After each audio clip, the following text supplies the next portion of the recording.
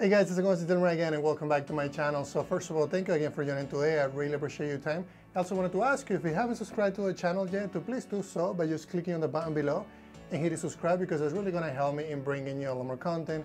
Today I'm pretty excited because I'm going to continue the casual chats that I have with my community and today I want to have a different topic and this topic is going to be how we can make sure that we can accomplish a lot more work than you know that we have done before and as I think about some of the things that I've been doing over the last few years and what I've been doing in the last couple of months, is always has been to make sure that I feel the best that I can feel.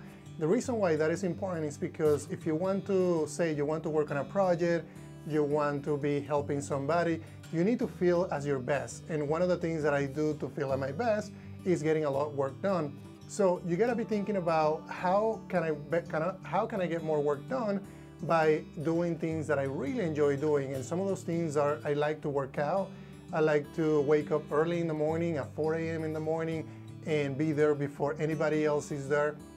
Make sure that I'm exercising. And I don't do it for the physical part, I do it for the psychological part. The reason I do it for the psychological part is not because I'm crazy, but it's because I really enjoy feeling healthy. And if I enjoy feeling healthy, if I enjoy, you know, everything that I'm doing throughout the day, then when it comes, you know, to work on my projects, I feel at my best. I can do, you know, anything that it takes to, to make sure that, that project gets pushed through.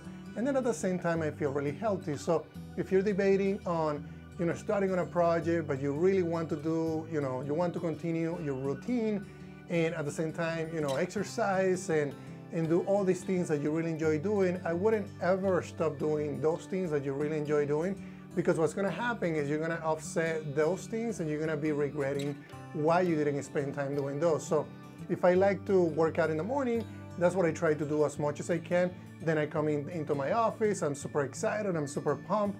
I'm going to be, you know, doing videos and, and it's really interesting because uh, when I'm at the gym and I'm exercising, I'm also thinking about, you know, focusing on exercising, but at the same time, I'm thinking about what things I'm going to be talking in the channel, what games I want to develop, what do I need to do.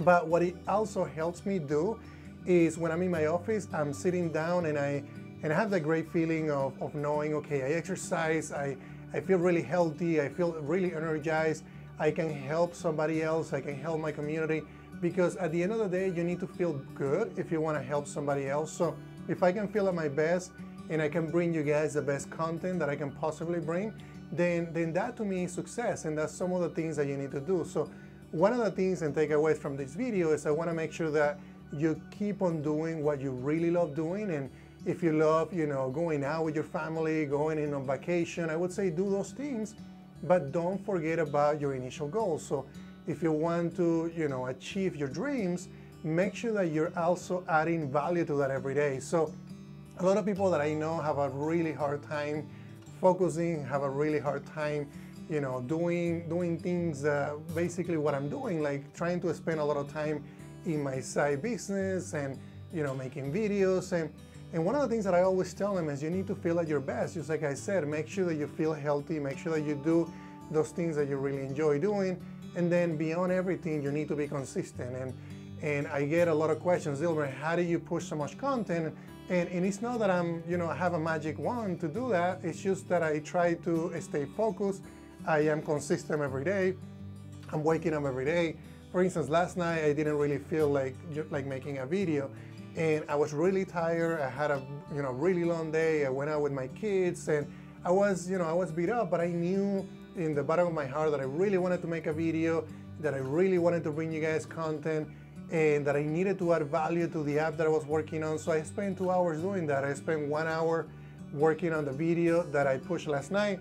And then I also spent one hour working on the app because if I stop working on one thing and I don't and I don't push myself to do those things, what's gonna happen is it's gonna stay idle and then it's basically gonna be one of those projects that you start and you never finish.